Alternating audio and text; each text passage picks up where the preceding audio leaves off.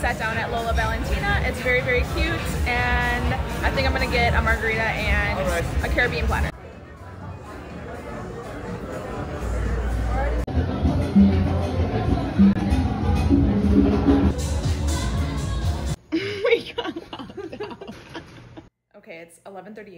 Got back to the room and we're getting ready for bed. We landed at like 5. It took a while to go through immigrations and customs, and then it took a while to wait for our shuttle to come. We pre-arranged a shuttle, but it was just bad traffic and it took like 40 minutes.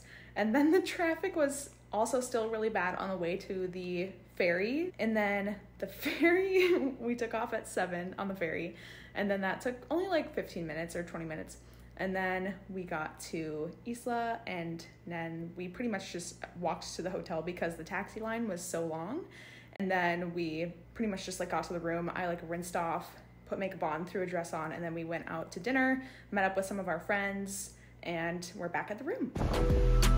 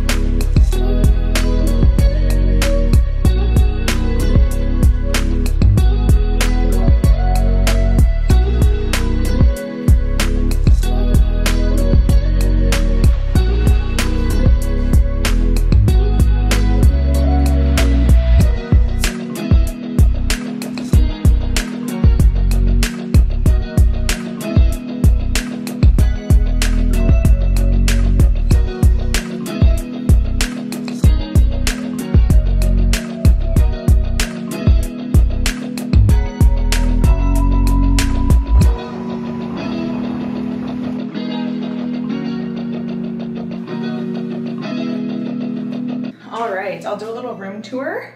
It's already like three days in, but we have some shelves, more shelves. And then to the left, we have our bathroom. I will say the lighting in here is not the best. So if you're doing makeup, maybe you might want to bring a makeup light. But otherwise, it's pretty modern. The shower doesn't have the best water pressure, and the floor does get a little bit wet. But other than that, very nice. And then we have a double garden view room. And this is in like the more modern suites. There's our view and our little balcony. That is pretty much it. Beds are pretty comfy, it's pretty clean. So far, so good.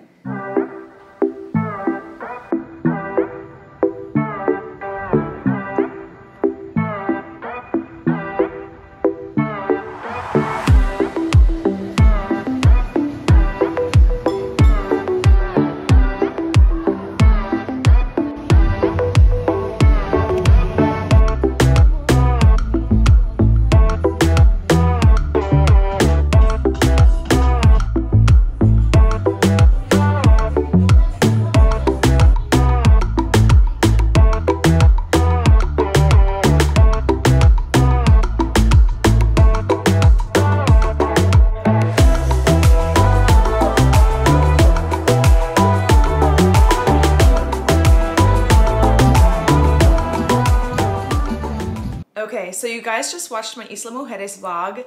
Thank you for watching. Continue watching if you want to hear an explanation. Otherwise, feel free to click off the video. Thank you for watching. But I figured it would be helpful to include an explanation of the clips because I was there with friends, so I didn't really get a chance to talk to the camera like I would have normally if I was maybe by myself. So I wanted to explain how the trip went, give tips um, if you're going to Mexico or Isla Mujeres soon, and yeah, just kind of explain how the trip went overall. So we went for my friend's wedding. It was absolutely gorgeous. Depending on where you're staying, this is kind of like tips before you even get to the island. I'll explain what we did in a second. But if you've never been to Isla Mujeres before, you can't really walk the whole island. I suppose you could, but you wouldn't want to with your luggage. So if you're staying near the ferry port, anywhere near the Centro, you could probably walk with your luggage to your hotel, although I would recommend still probably getting a taxi.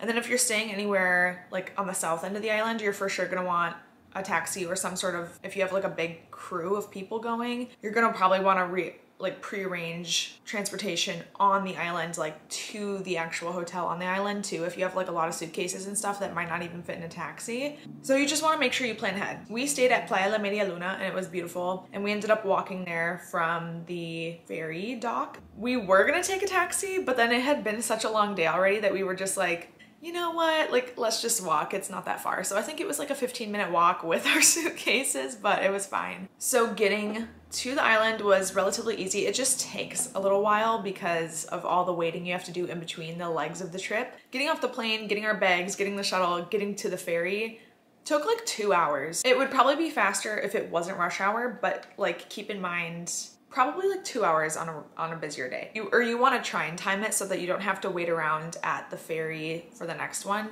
So we timed it pretty well and we got there like right before the seven, like we were the last people on the seven o'clock ferry. I've never stayed in a boutique hotel before, but I really did enjoy it. But I was like hoping that they had like at least two water bottles in the fridge in the room because they know that we're traveling, like it's a long travel day and we're gonna be thirsty. I think the only reason I'm pointing it out is because if I would have known ahead of time, we would have just planned a little bit better, but we didn't really know what was going to be provided. Um, but to be fair, we didn't ask beforehand either. So I could have emailed and like asked if they provided like food or drinks or anything. So anyways, we checked into the hotel Wednesday night and we immediately got ready and went out for dinner. We went to Lola Valentina and it was so delicious. I think that was my number one favorite restaurant on the island that we went to. Me, obviously, I love that they had a gluten-free menu or that they had gluten-free options on their menu, like specifically stated gluten-free on the menu. That's like super rare to find in Isla Mujeres, at least from what I can tell. I did a lot of research before going on the trip to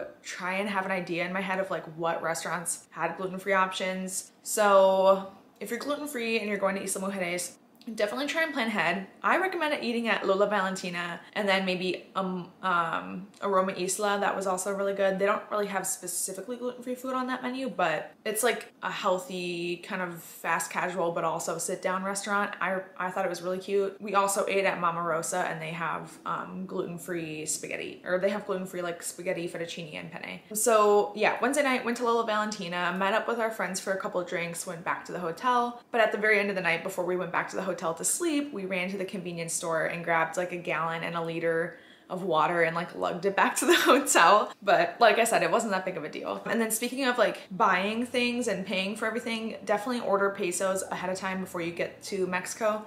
Um, I got mine through Wells Fargo because I use Wells Fargo as my bank.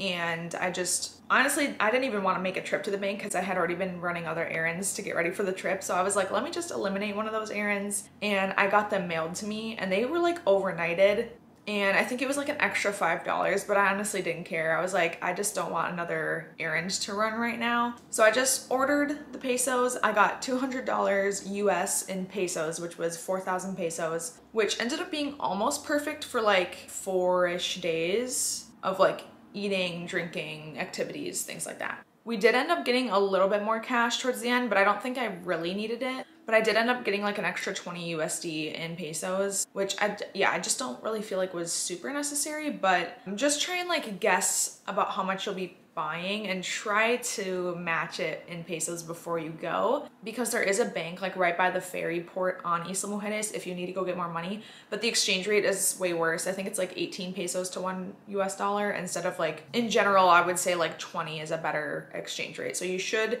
get like at least 20 pesos to the dollar if you get it in the US and then bring it to Mexico rather than if you wait and get it at the airport or like actually on Isla Mujeres. We woke up Thursday and went to breakfast at Letty's. They were very, very accommodating. Like they put us on the end of everyone and grabbed like three tables and like seven chairs to make sure that we could all sit with each other. So it was very nice. But yeah, so Letty's was really good. Then we did a catamaran day with just the girls. That was super fun. I definitely recommend doing the catamaran and golf cart when you go to Isla um, and maybe like a beach club too. That would be fun. We didn't have time to do a beach club, but I would definitely recommend checking out a beach club. Walking down Hidalgo Street for all the bars and restaurants. That's also a must do. Let's see. So the catamaran day, we just kind of like stuck on the west side of the island and we went down to I actually don't know what the area was called if I can google it maybe I'll find out but we went to an area where a few girls wanted to go snorkeling so they did that for like a half hour and then we just kind of meandered our way back up to the north side of the island and then we got off and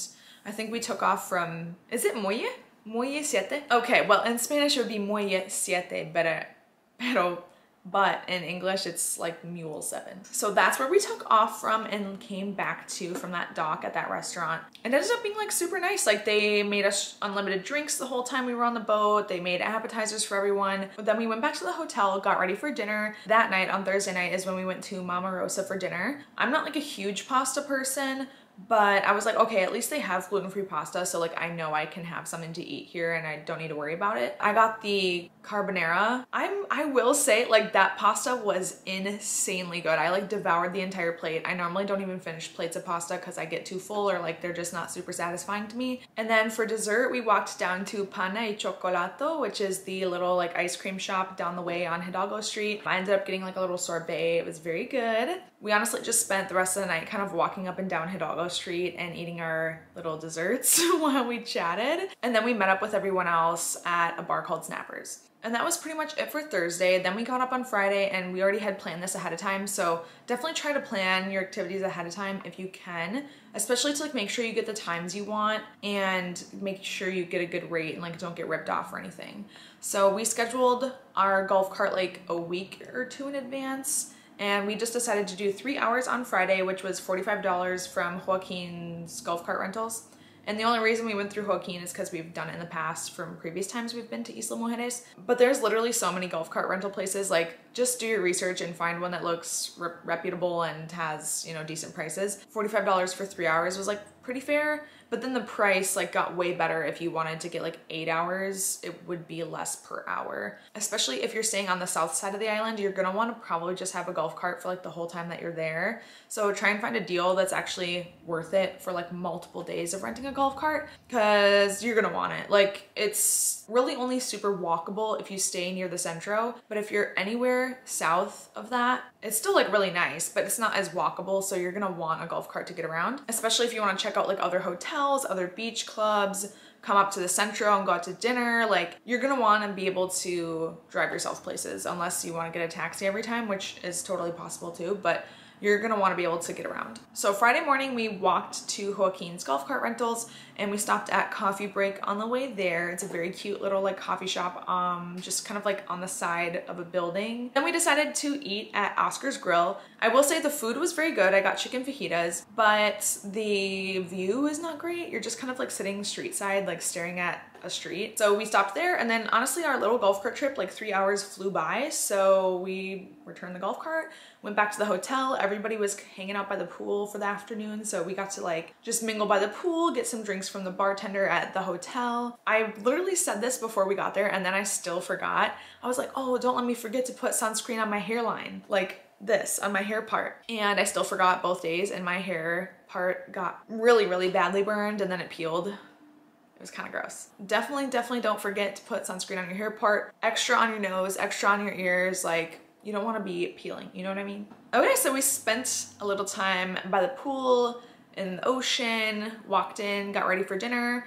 and then we ended up going to, oh yeah, Friday night is when we went to Aroma Isla for dinner. I wish their menu specified it, but they have like vegan and vegetarian options. And I was like, okay, if they have vegan and vegetarian options, they probably have something that's gluten-free. So I got the like, mm, I forgot what it was called. It was like a chicken dish with like some spinach sauce on it and vegetables but it was like stuffed chicken and I, like at first glance i think the menu said it was like stuffed with like walnuts blueberries and some sort of cheese and maybe mushrooms. Super good.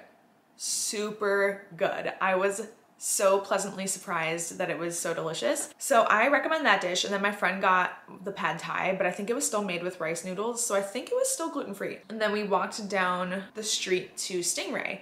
And I did, I like, I guess the whole three floors is Stingray. I am honestly not really sure, but it's on the corner of Hidalgo Street. It's like huge three floors, like you can't miss it. We were eyeing the top floors because they looked beautiful. And we were like, we need to go up there, even if we just get like a drink and take some pictures and leave because it was like so gorgeous. So I have a couple pictures on Instagram of what they looked like. Here's how it looked and we had so much fun up there just like getting a couple drinks and like chatting the whole time like we just kind of hung up by ourselves that's i think my favorite spot to go to is like the third floor of stingray was so much fun. Mostly because we kind of had it to ourselves because it wasn't that busy. But i will mention the first floor of that spot is um, karaoke and we were like definitely not into karaoke so we definitely stayed upstairs. But i actually preferred it up there anyway. It was way more like aesthetically pleasing and it was just really gorgeous. And then we went back to the hotel. We were saving saturday morning brunch for north garden. And i had seen all these reviews about how it's like oh yeah, like if you need a spot for brunch, go to North Garden or like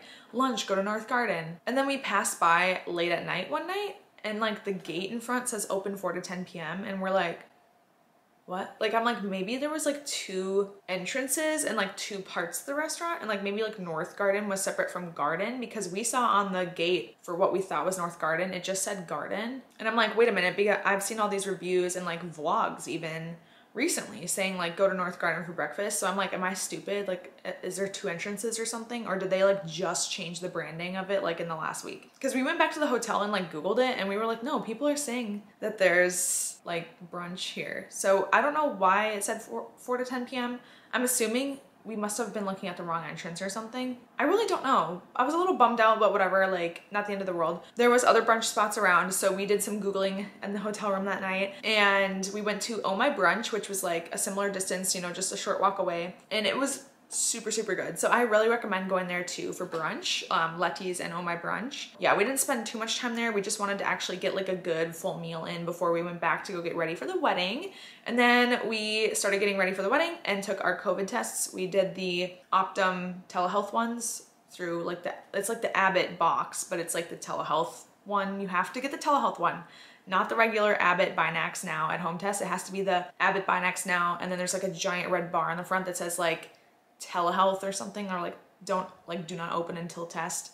So do not open the box until your test, okay? And we had both done it, like this was our first time trying it, but it was very simple. But I'm glad that there were other options for testing on the island. Like obviously they're gonna accommodate, you know, travelers testing. So if you needed to test somewhere else, like they have doctors that can come to your room. They have like little testing like trucks and sites like around the island that you can just like walk up to and get a test. So this is just kind of like a funny anecdote of my experience, but this doesn't really have anything to do with like traveling or specifically to Isla Mujeres. Of course, I'm like, this happens to me every time. Like when I have like, cause I had like what, we got back to the hotel at like 11 and the wedding wasn't until five. I was like, okay, I probably want to be ready at like four-ish so that we can like relax, take some pictures, maybe have a drink before the wedding actually starts, and just to not be rushed. And I knew I had to help with my friend's makeup, the bride, at like 3:30. So I was like, okay, it's 11 now. Let me like start doing my hair. Maybe I'll start my makeup at like 2, 2.30. I should be good. And it's just like, of course, the days that you have so much time to get ready that you still run late somehow. I don't know how that happens. So I did my hair, did my COVID test, all went well. And then I was like, "Oh, I should have my makeup like 99% done by the time I go do my friend's makeup for her wedding. And then I'll still have time for like touch ups and getting dressed to come back here and like do that all before the actual wedding starts and I'll be good. So I keep trying to rush through my makeup. I get to the part where I'm starting to set my under eyes because I put on extra concealer because I was like, I'm gonna be super snatched for this wedding. And then the concealer was still a little too wet and there was like too much of it under my eye or like I should have waited for it to get a little more tacky first. But like when you have really wet concealer and then you have like a glob of powder, which I I was in a rush, I should have knocked off a little more of the powder before I put it on my face. The wet thick concealer plus like an extra giant glob of powder, I globbed on the brush and as soon as I took the brush away, I was like, oh no. Ugh. Like most people probably wouldn't have cared, but I was like, this is not happening. This is not happening. This is not happening. And I tried to make it work. I was like putting powder around my eyes and then I was like kind of going like this and I'm like, I have like 50 million crow's feet all along my eye right here. And I was like, mm, that's not normal. And I can feel it crunching, like it felt crunchy on my skin. And I really debated trying to save it because of the time, because it was already getting close to like three. So I took it off because I was not about to feel creepy all night.